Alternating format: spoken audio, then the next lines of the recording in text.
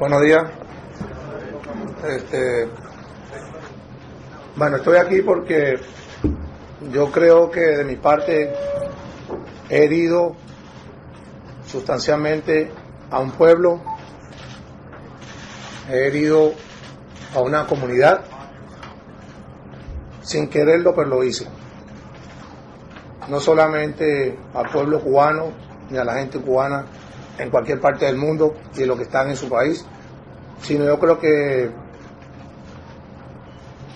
en sí a toda Latinoamérica, a todos los venezolanos, nicaragüenses, guatemaltecos. Si se me olvida alguien, por favor, me disculpan, pero creo que me siento como que si he traicionado a un pueblo latino. Estoy aquí para pedirle disculpas con el corazón en la mano para pedirle perdón a toda aquella gente que directa o indirectamente he herido. Y que todo lo que yo le decía aquí es de corazón. La verdad, no vengo aquí por para tratar de salirme de un problema. Si vengo a decir aclarar cosas que hay que aclarar. Esta es mi tercera rueda de prensa. Y creo que para mí y para todo el pueblo latinoamericano, especialmente el de Cuba, es importante verme la cara, verme mis ojos y saber que yo lo que estaba diciendo en Filadelfia y Cincinnati era toda la verdad. Tengo muchos amigos cubanos, he vivido en Miami por mucho tiempo, que me siento avergonzado de que se sientan que nuestra amistad ha sido traicionada.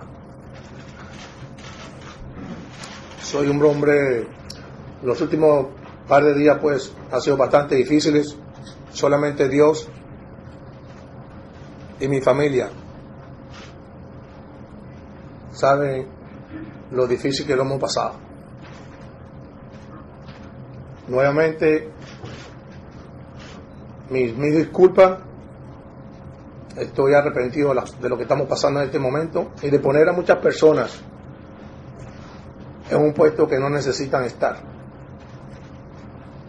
Y a toda la familia cubana, nuevamente, mi perdón, mi cariño, y espero que cuando yo salga de aquí, pues, entienda un poco mejor y sepa un poco quién es esta persona y de verdad qué es lo que siento por ellos y por el y por el régimen castrista y el régimen de Venezuela y el de Nicaragua y el de Ecuador y el lo que ustedes quieran. Aquí estoy dando en la cara